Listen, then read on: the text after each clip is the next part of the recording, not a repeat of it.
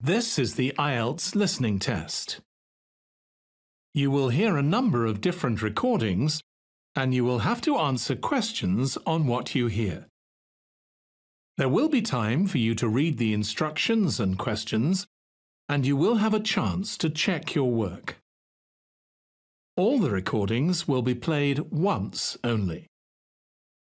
The test is in four parts. At the end of the test, you will be given 10 minutes to transfer your answers to the answer sheet. Now turn to part 1.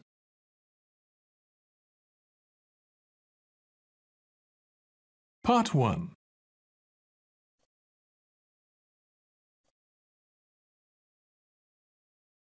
You will hear a man talking first to a receptionist and then to a doctor at the health centre. First, you have some time to look at questions 1 to 3.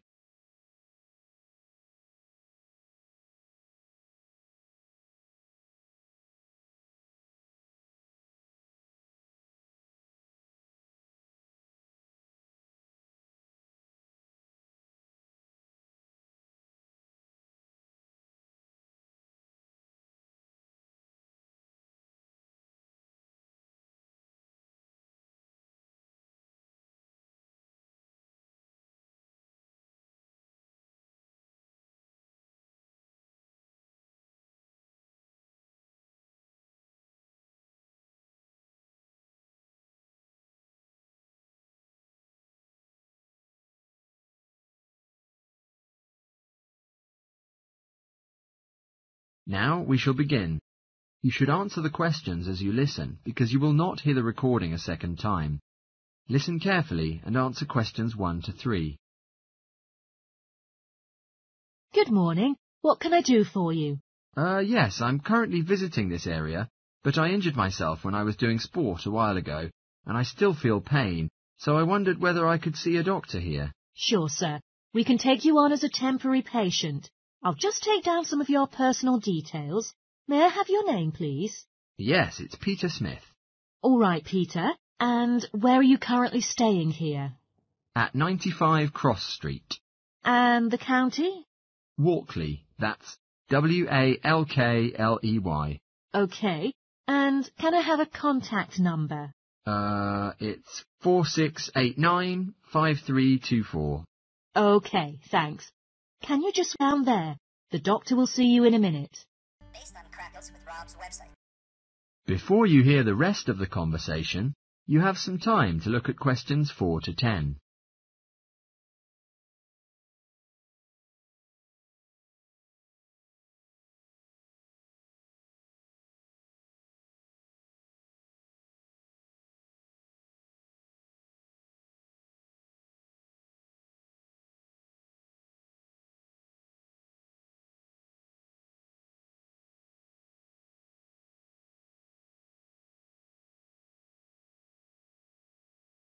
Now listen and answer questions 4 to 10.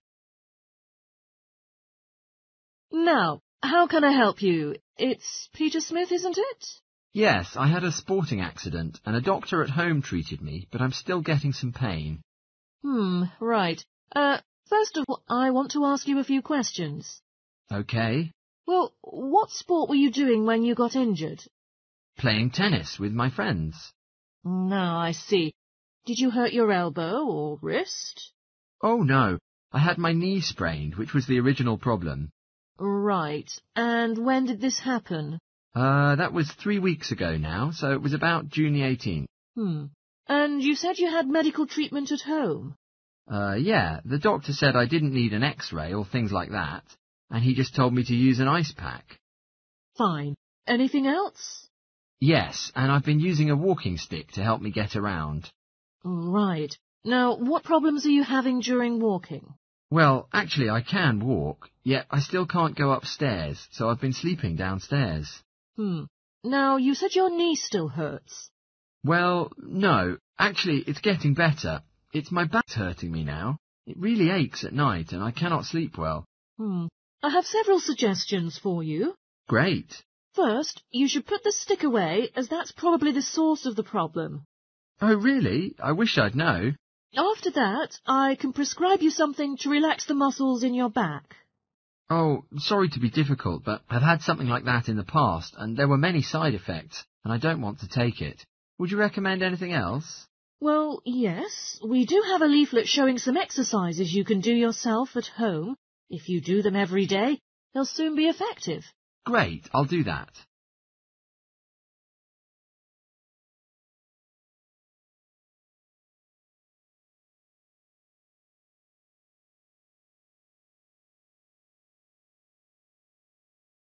That is the end of part one. You now have one minute to check your answers to part one.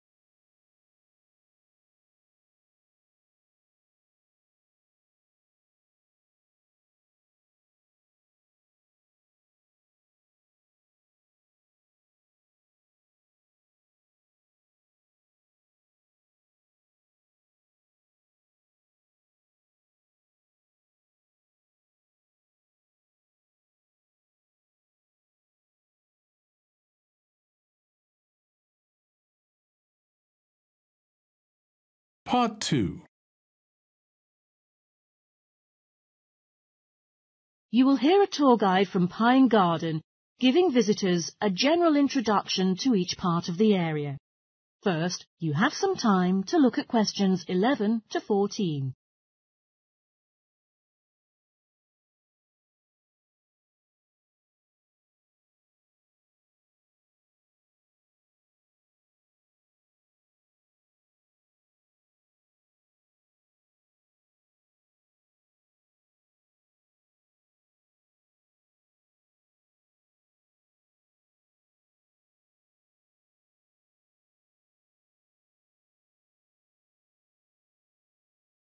Now listen carefully and answer questions 11 to 14. Hello, I'd like to welcome you all to Pine Garden. My name is Manuel. Before you wander off and begin your exploration of the garden, I'm to keep all of you informed of several things about this building. I know you're eager to start your wandering and exploring, so I will try to keep this as short as possible. Firstly, I think I should explain to you something that you can do with your ticket. If you're much more into nature, the optimal section is our planting area, where all the visitors can plant small flowers and bulbs on their own. These plants will gradually grow and then become part of our garden. The activities of planting are totally free. However, if your hands are sensitive, we strongly recommend you to buy a pair of garden gloves in order to protect your skin. Also here at Pine Garden, we use wooden materials from the trees that have been felled in our very own pine forest to make carved goods. If you are interested and want to get involved and try by yourself, you can join one of our bush timbering lessons for free, where you will have the opportunity to make your own keyring with the help of a skilled craftsman. Our aviary is the most popular attraction, where you can see a whole range of bird species. More surprisingly, it is free to enter this section, Yet you should pay a small amount of supplement for the entry to the hummingbird section. Also, the insect section that is not very far from the aviary might arouse your interest. There you will find a number of interesting insects, such as butterflies, pocket ladybugs, dragonflies, and so on, and there's no extra charge. Unfortunately, some areas are now temporarily limited to visitors today. For example, the gift shop that closed earlier this year will remain out of bounds for another month or so. As I have said before, the restaurant still offers free food and snacks for you, and if you do feel like purchasing a gift, why not buy that special potted bush or orchid from our plant care centre? What's more, our new treetop cafe is now in the process of construction. It will be very compelling when it's finished. Actually, our model town has already opened in advance. That is of great interest to the public. Also, our tourist office is ordinarily available to give tourists many aids, but the officer is sick at home. Please do not be disappointed by this. since our open visiting areas also provide quite an experience. Before you hear the rest of the talk, you have some time to look at questions 15 to 20.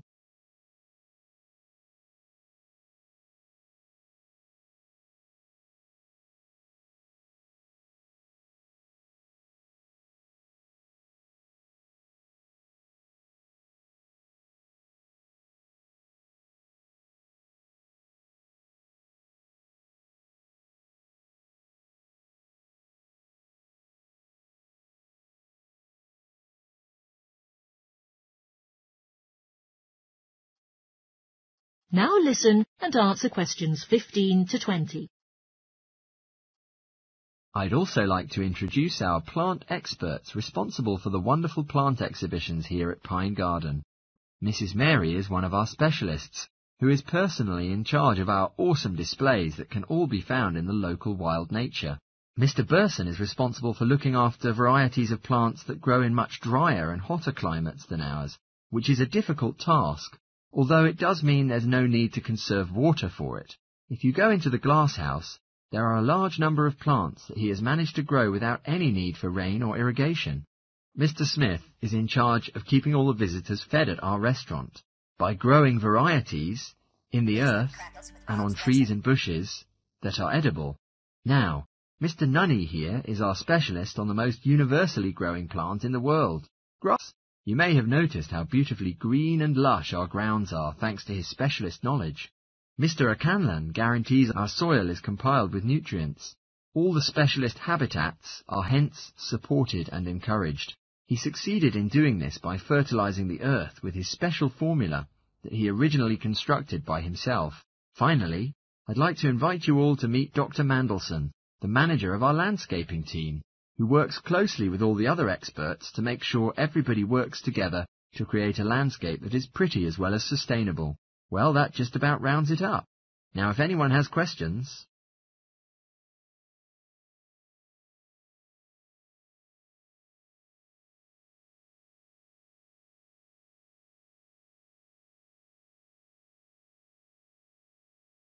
That is the end of part two.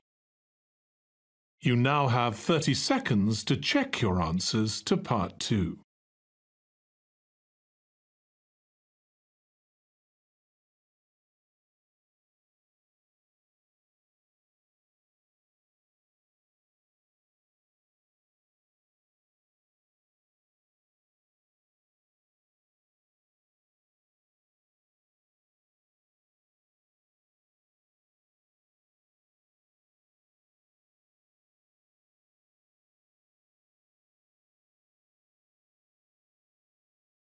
Part 3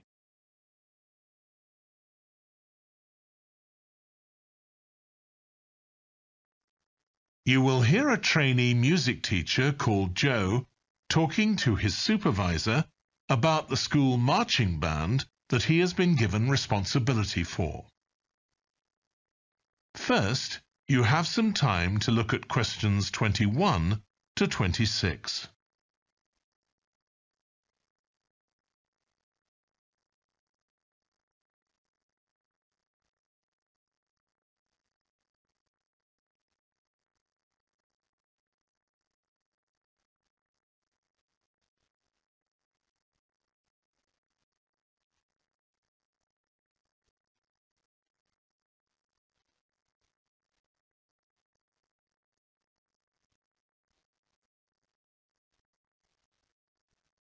Now listen carefully and answer questions 21 to 26. So, how are you getting on with your teaching practice at the high school, Joe? Well, I've been put in charge of the school marching band, and it's quite a responsibility. I'd like to talk it over with you. Go ahead. You better start by giving me a bit of background. Okay. Well, the band has students in it from all years. So they're aged 11 to 18, and there are about 50 of them altogether. It's quite a popular activity within the school.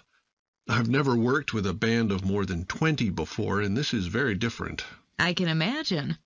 They aren't really good enough to enter national band competitions, but they're in a regional one later in the term. Even if they don't win, and I don't expect them to, hopefully it'll be an incentive for them to try and improve. Yes, hopefully. Well, now the town council's organizing a carnival in the summer, and the band has been asked to perform. If you ask me, they aren't really up to it yet, and I need to get them functioning better as a band, and in a very short time.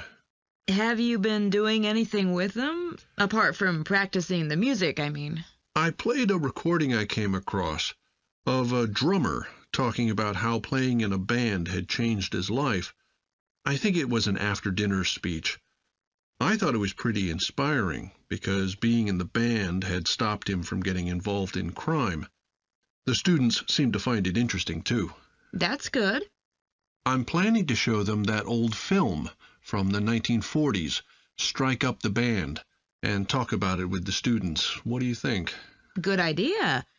As it's about a school band, it might make the students realize how much they can achieve if they work together. That's what I've got in mind. I'm hoping I can take some of the band to a parade that's going to take place next month. A couple of marching bands will be performing, and the atmosphere should be quite exciting. It depends on whether I can persuade the school to hire a coach or two to take us there. Hmm. They sound like good ideas to me. Thanks. Before you hear the rest of the discussion, you have some time to look at questions 27 to 30.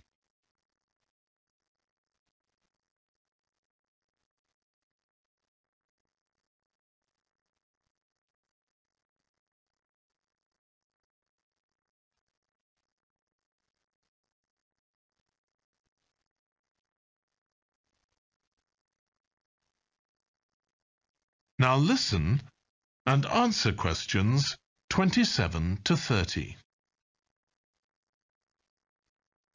Can I tell you about a few people in the band who I'm finding it quite difficult to cope with? I'm sure you'll have some ideas about what I can do. Go ahead. There's a flautist who says she loves playing in the band. We rehearse twice a week after school, but she's hardly ever there. Then she looks for me the next day and gives me a very plausible reason. She says she had to help her mother or she's been ill, but to be honest, I don't believe her. Oh dear. Any more students with difficulties? Plenty. Uh, there's a trumpeter who thinks she's the best musician in the band, though she certainly isn't. She's always saying what she thinks other people should do, which makes my job pretty difficult. She sounds a bit of a nightmare. You can say that again. Uh, one of the trombonists has got an impressive sense of rhythm and could be an excellent musician, except that he has breathing difficulties, and he doesn't really have enough breath for the trombone. He'd be much better off playing percussion, for instance, but he refuses to give up, so he ends up only playing half the notes. I suppose you have to admire his determination. Hmm, maybe. One of the percussionists isn't too bad, but he never seems to interact with other people, and he always rushes off as soon as the rehearsal ends. I don't know if there are family reasons or what, but it isn't good in a band where people really need to feel they're part of a group. Hmm. There are others too, but at least that gives you an idea of what I'm up against. Do you have any thoughts about what I can do, Lizzie?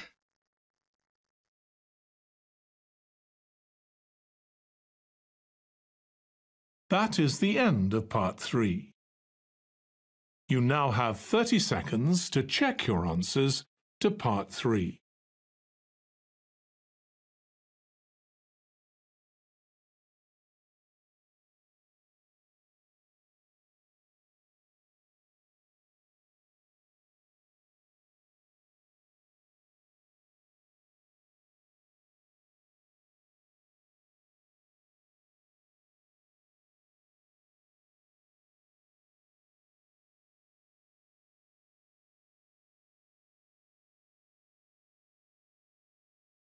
Part 4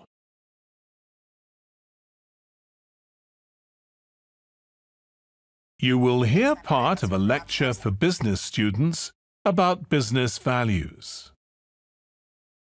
First, you have some time to look at questions 31 to 40.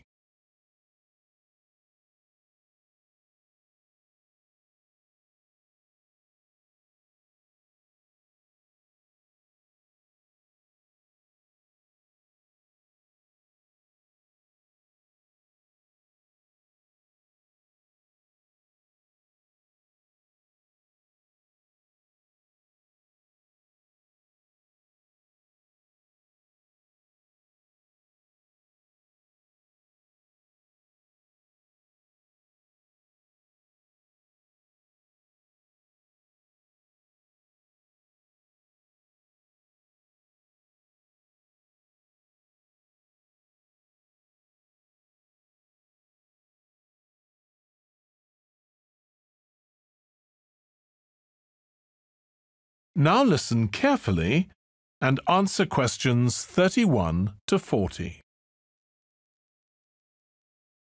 In public discussion of business, we take certain values for granted. Today, I'm going to talk about four of them.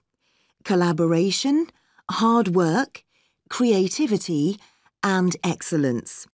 Uh, most people would say they're all good things, I'm going to suggest that's an over-simple view. The trouble with these values is that they're theoretical concepts, removed from the reality of day-to-day -day business. Uh, pursue values by all means, but be prepared for what may happen as a result. They can actually cause damage, which is not at all the intention. Business leaders generally try to do the right thing. But all too often, the right thing backfires if those leaders adopt values without understanding and managing the side effects that arise. The values can easily get in the way of what's actually intended. OK, so the first value I'm going to discuss is collaboration. Uh, let me give you an example. On a management training course I once attended, we were put into groups and had to construct a bridge across a stream using building blocks that we were given. The rule was that everyone in the team had to move at least one building block during the construction. This was intended to encourage teamwork. But it was really a job best done by one person. The other teams tried to collaborate on building the structure and descended into confusion, with everyone getting in each other's way. Our team leader solved the challenge brilliantly. She simply asked everyone in the team to move a piece a few centimetres to comply with the rule, and then let the person in the team with an aptitude for puzzles like this build it alone. We finished before any other team. My point is that the task wasn't really suited to team working, so why make it one? Teamwork can also lead to inconsistency, a common cause of poor sales. In the case of a smartphone that a certain company launched, one director wanted to target the business market, and another demanded it was aimed at consumers. The company wanted both directors to be involved, so gave the product a consumer-friendly name, but marketed it to companies. The result was that it met the needs of neither group. It would have been better to let one director or the other have his way, eh, not both.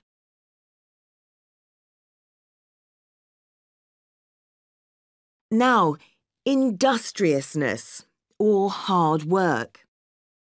It's easy to mock people who say they work hard.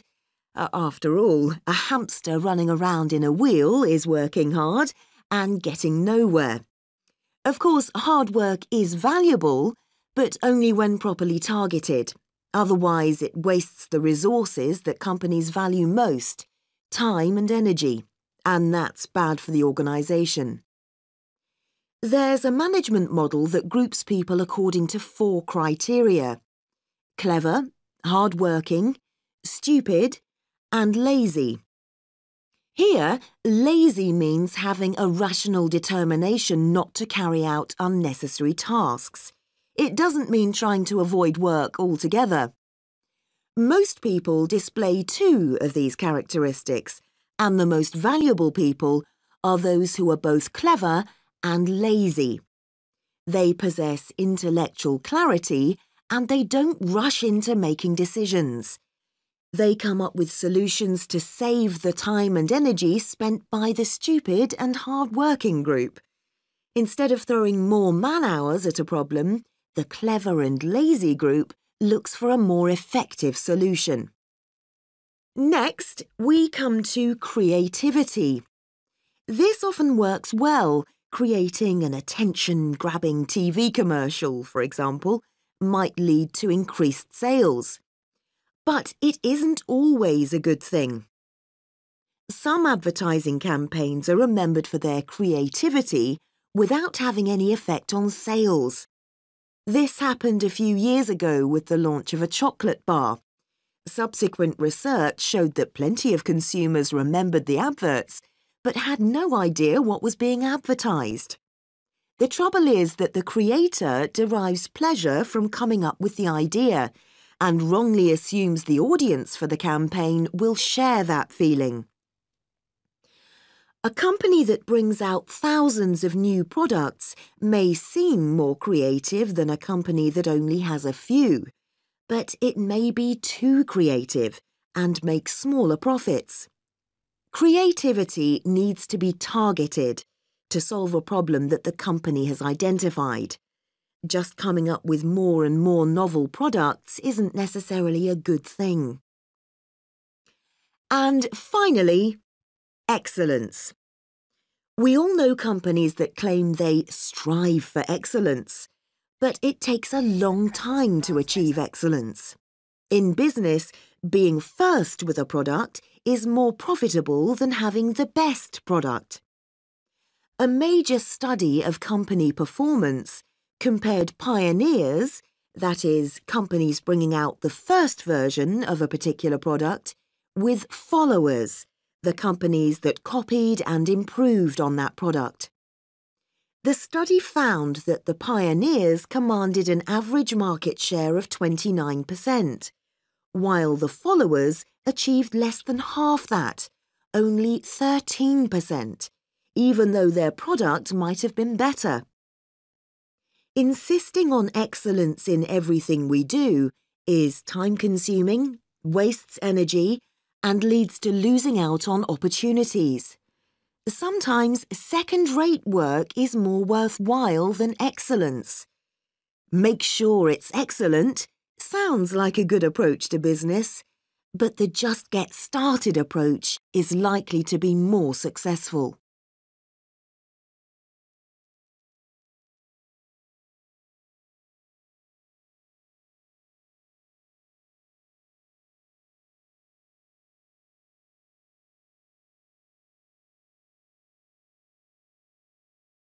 That is the end of part four. You now have one minute to check your answers to part four. That is the end of the listening test. In the IELTS test, you would now have 10 minutes to transfer your answers to the answer sheet.